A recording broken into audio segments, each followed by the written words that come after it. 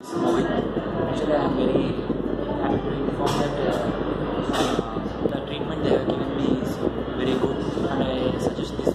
I suggest this for everyone. I am very happy with this treatment, and I can uh, happily say that uh, I can smile a lot to, uh, to now. So I'm really happy. My treatment is with uh, braces, and uh, it cost me around 30k. I can say that.